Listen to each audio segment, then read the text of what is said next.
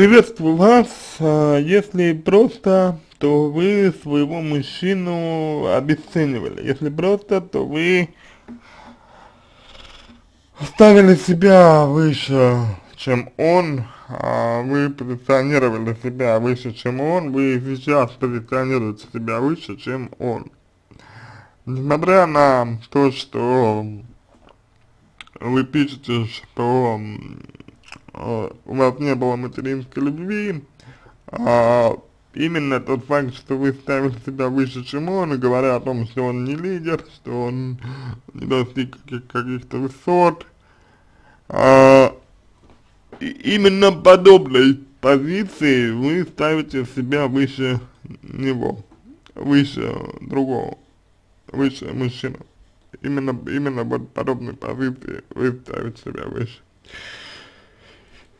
И мужчина, получается, а, постоянно чувствовал от вас вот этот вот а, негатив какой-то, вот, он постоянно чувствовал от вас все, то, что вы его при, принижаете, и, вероятно, он не, не чувствовал себя мужчиной. То есть вы его вдохновляли, это безусловно, вы его вдохновляли, да. Но вдохновлять человека это одно, а дать ему почувствовать свою силу это совсем другое. Вот я думаю, что Именно вы не давали почувствовать ему свою силу тем, что считали его и продолжаете считать его не лидером. А для, для другой женщины, для другой женщины, человек э, является самым лучшим, для другой женщины человек является самым классным, самым крутым, и она, возможно, дает ему понять, она дает, дает ему ощутить себя именно на коне, именно мужчиной, именно не, не свободным, да, не свободным, и не тем, для кого все делают, для э, кому пытаются угодить, а именно, именно мужчиной, именно мужчиной, именно тем, кто на что-то способен, вот. А вы этого, а вы этого дать ему, скорее всего, не могли именно вот в силу того, что а, именно в силу того, что а, себя э, ставите выше, чем он, то есть говорите, что вот а, я его постоянно вдохновляла и так далее. Понимаете? Вопрос заключается на самом деле немножко даже в другом. Для чего вам такой мужчина? Зачем вам такой мужчина? Мужчина, который, в общем-то, которого вы не считаете успешным даже. Вот именно вы сами. Для чего вам такой мужчина, если вы говорите, что он не, не, достиг многого? То есть ваша основная ошибка это подсознательное принижение а, человека. Вот. Постоянно, постоянно подсознательное принижение человека. Вот.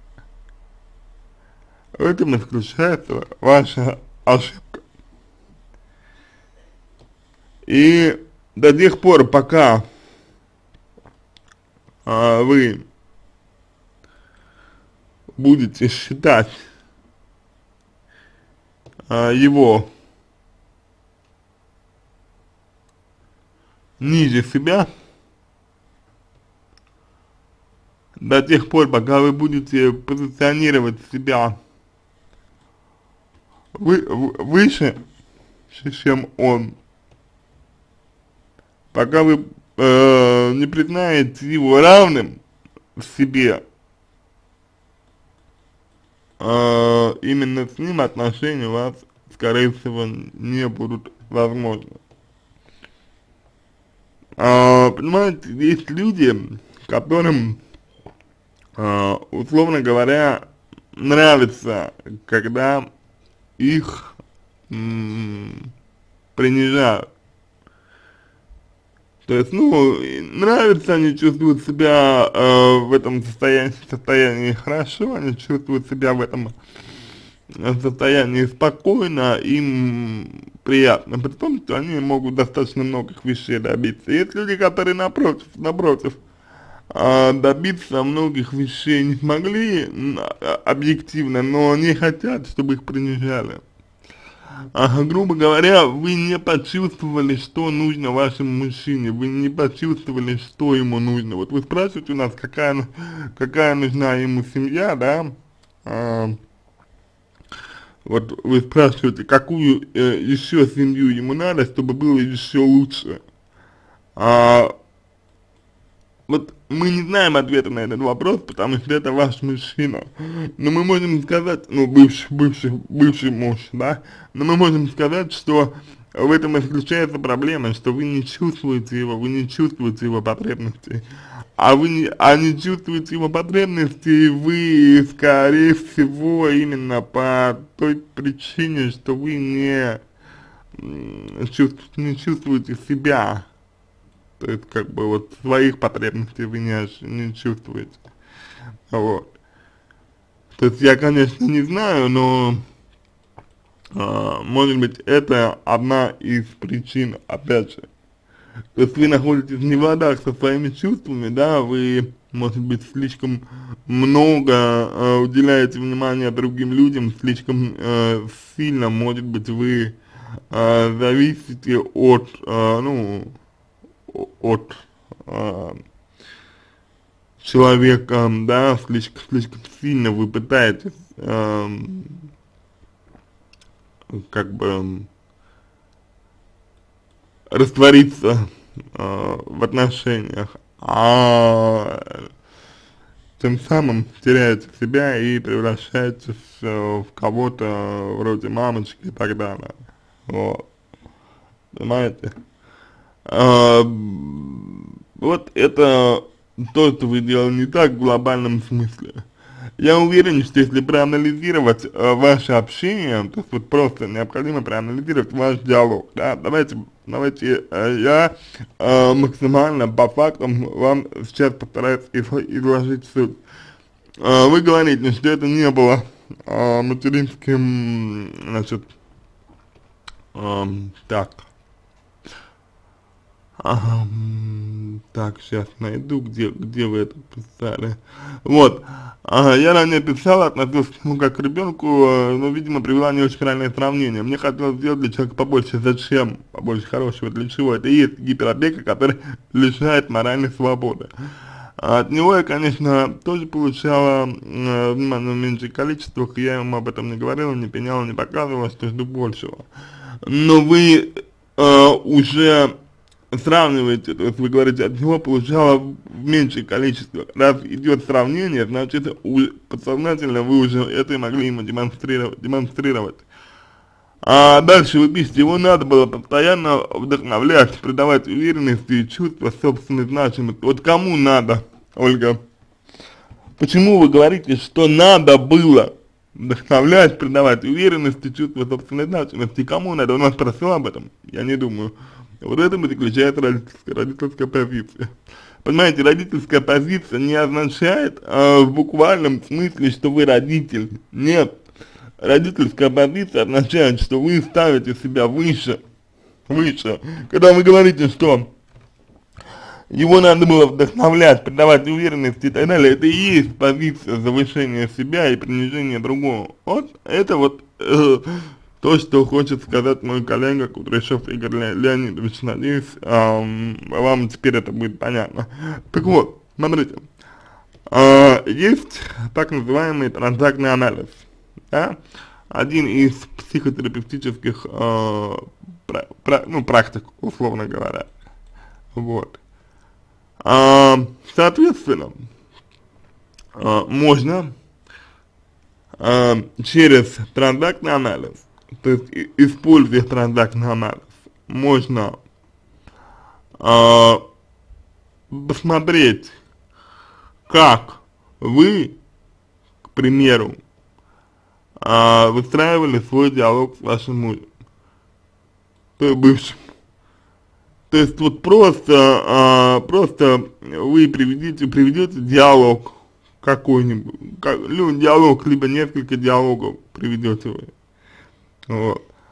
А мы их с точки зрения транзактного анализа рассмотрим, вот, и продемонстрируем, вам, а, что конкретно вы делаете не так, делали не так. И через э, то, как вы выстраиваете э, взаимоотношения, через то, как вы выстраиваете диалог, как вы выстраиваете общение, и вы увидите как раз таки, что именно не так, что не так, как не так и так далее. Вот. Мне, вы пишете, что вы общались с, э, с профессиональными психологами, но как вы при этом до сих пор не понимаете, в чем, э, в чем ваша ошибка, в чем деструктивность вашего поведения, значит, вы не общались с психологом. Вот.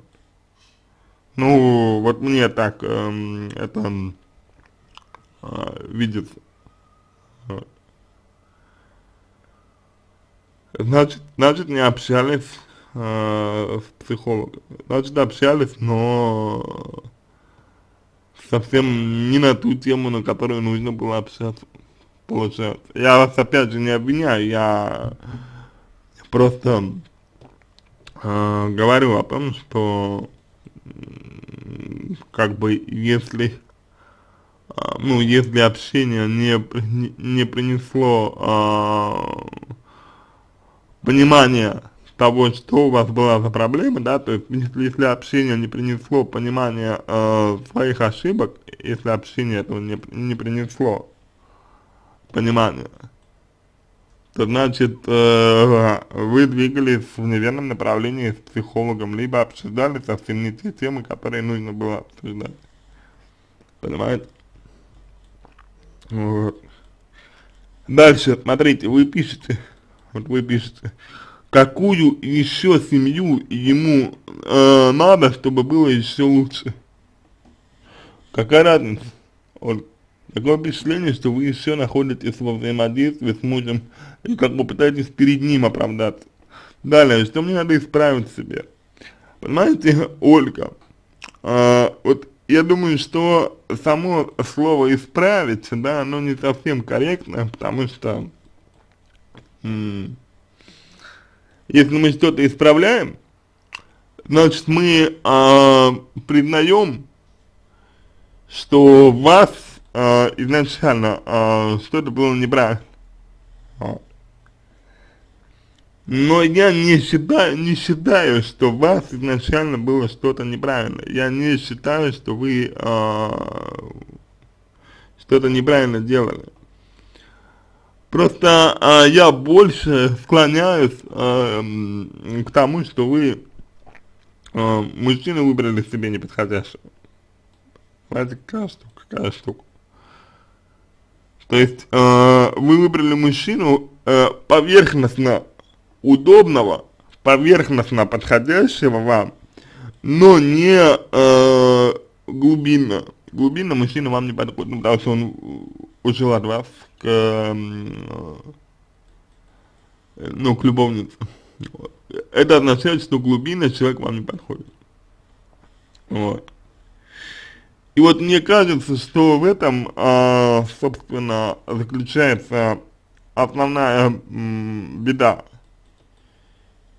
Что вы просто выбрали человека, который вам не совсем подходит. Вы выбрали себе человека, который изначально на глубинном уровне не является тем мужчиной, который вам нужен. То есть вам нужен человек, которому нравится, что его, э, что ставят, э, что его ставят ниже, который согласен в глубине души с этой позиции, с этой позиции, которого, она, которого эта позиция не отягощает вашего мужа, она отягощает. И именно, именно это является ключевым, ключевым моментом. Я не призываю и не считаю, что вам нужно исправляться. Я считаю, что вам нужно сделать выводы. И вот вы говорите, что вы ему никогда не э, выражали то, что вы ждете от него больше. А почему? Выражая вы, э, требуя вы, либо делая меньше, наши отношения развивались бы гораздо лучше они были бы более доверительны, они были бы более искренними, когда вы что-то замалчиваете, не говорите, теряется доверие. Так что, возможно, еще в понимании доверия, возможно, еще в том, насколько доверяете себе вы, и заключается еще одна проблема. Не ошибка, а проблема. И необходимо понимать, что э, само понятие ошибка в отношениях всегда э, э, используется исключительно а, в контексте партнера. То есть,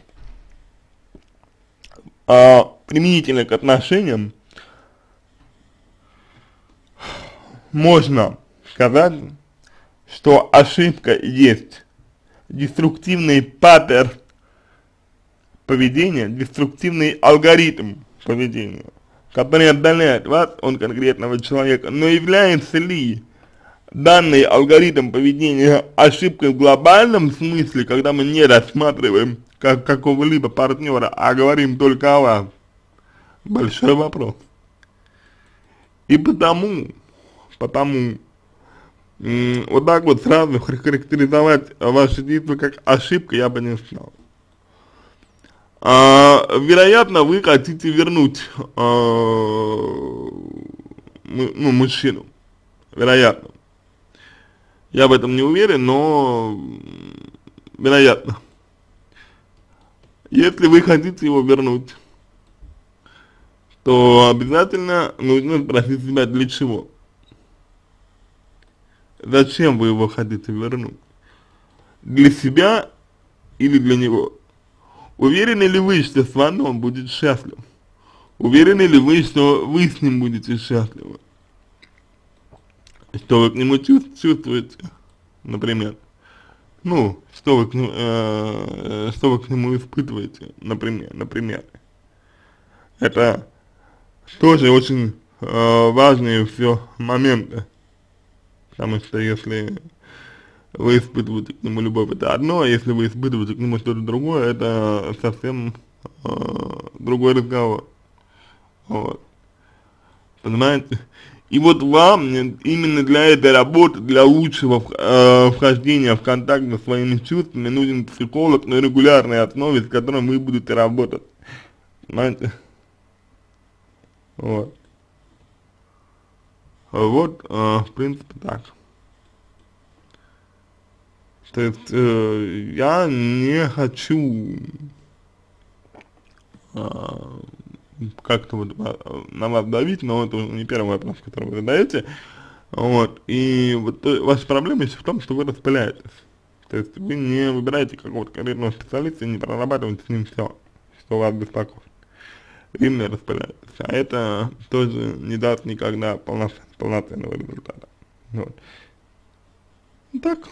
То ну, мне в этом смысле напоминает человек, который а, не желает признать, что а, партнером, ну, что партнером все зак закончилось. У меня такое ощущение, что вы а, пытаетесь, пытаетесь справиться еще а, для, ну, для него, для мужчины.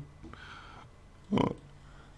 Это тут также в корне неверная позиция, потому что он, может быть, ушел, и может быть, ушел он, а, как бы, ну, с, конца ушел. То есть в том смысле, что он ушел совсем, что он уже не вернется к вам больше. Вот. Готов, готовы ли вы признать данный фактор? Готовы ли вы признать данный? Бросите себя об. На этом все. Я надеюсь, что помог вам. Если у вас остались э, вопросы, пишите в личку, буду рад помочь. А, если вам понравился мой ответ, буду благодарен, если сделаете его лучшим. Я желаю вам всего самого доброго и удачи.